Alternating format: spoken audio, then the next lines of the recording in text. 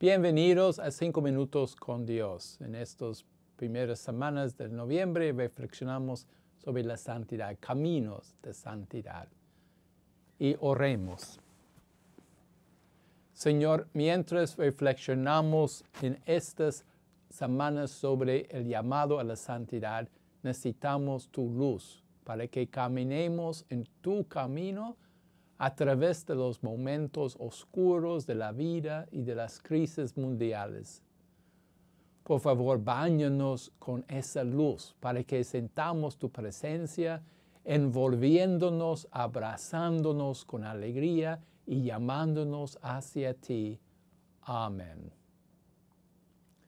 La palabra santidad puede asustarnos porque pensamos que es algo muy extraño o tal vez un poco aburrido. El Papa Francisco comenta, no tengas miedo de la santidad, no te quitará fuerzas, vida o alegría, todo lo contrario, porque llegarás a ser lo que el Padre pensó cuando te creó y serás fiel a tu propio ser. Depender de Él nos libera de las esclavitudes y nos lleva a reconocer nuestra propia dignidad. La dignidad humana, la caridad, caritas, y la misericordia son las piedras fundamentales de una vida de santidad. El camino de la santidad nos lleva a reconocer la propia dignidad y la de los demás. Este llamado a la dignidad de cada persona está en el centro de la Declaración Universal de Derechos Humanos, cuyo 75 aniversario está dentro de un mes. Pero la historia muestra que muchos derechos se sacrifican fácilmente por conveniencia o en beneficio de quienes están en el poder. Por tanto, el llamado agustiniano a la humildad está en el corazón de la santidad. San Agustín nos dice que todos los caminos hacia la santidad pasan por la virtud de la humildad. Es un reconocimiento de que todo es regalo y que todo lo que tenemos es un regalo del Creador y se nos ha dado para que seamos buenos administradores. Cuando nos damos cuenta de que lo que tenemos es un don, cuando nos damos cuenta de que quienes nos rodean son un don, comenzamos a vivir el credo de santidad que Jesús nos regala en las bienaventuranzas. El Papa Francisco nos dice, en las bienaventuranzas se dibuja el rostro del Maestro que estamos llamados a transparentar en lo cotidiano de nuestras vidas. Y nadie que entienda eso podría violar la dignidad básica de la persona, que es el principio fundamental de la Declaración de Derechos Humanos. El camino de la santidad se basa también en la caridad, caritas porque es contemplando el rostro de Cristo en los pobres como llegamos al espíritu de caritas, caridad.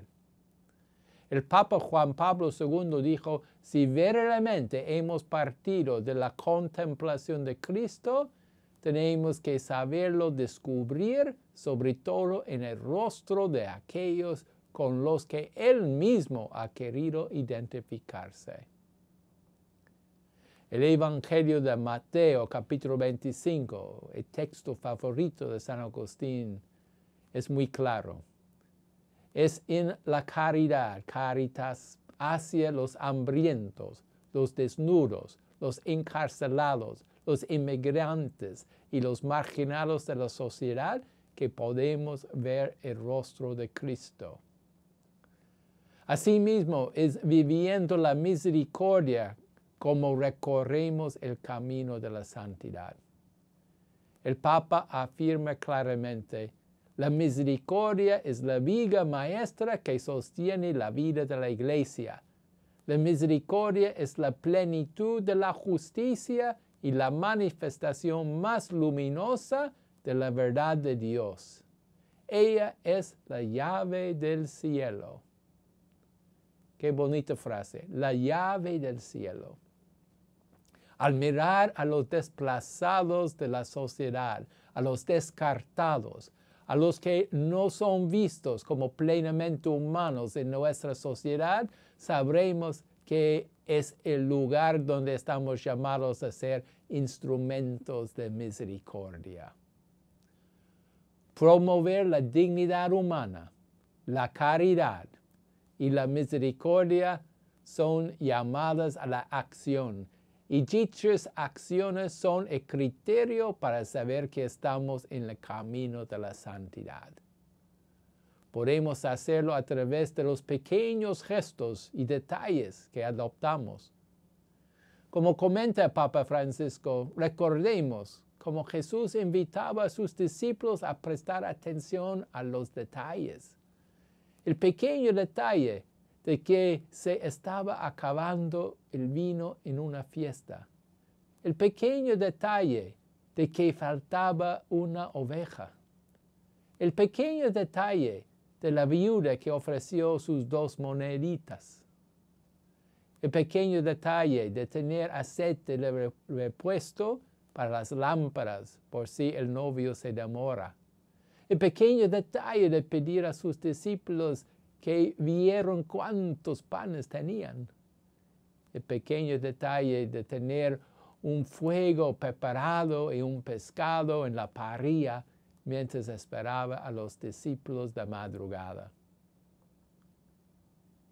Escuchemos la palabra de Dios que Jesús nos da en el Sermón de la Montaña y veamos en ellos los caminos de la santidad, en la dignidad humana, la caridad y la misericordia.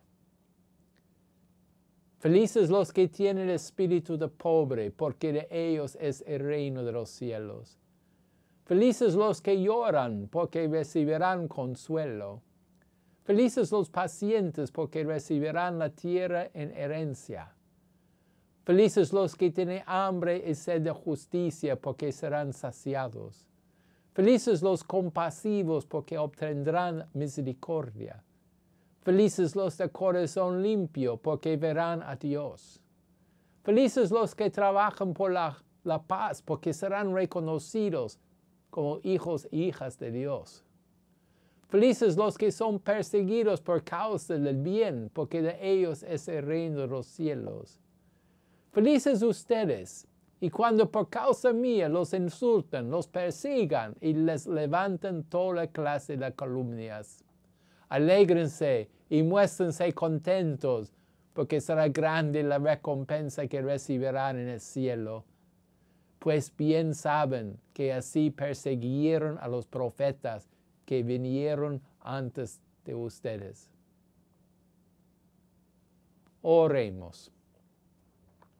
Señor de la vida, Señor del amor, Señor de la misericordia, haz brillar tu rostro sobre nosotros para que podamos ver en ti el rostro de los descartados, de los pobres, de los que sufren.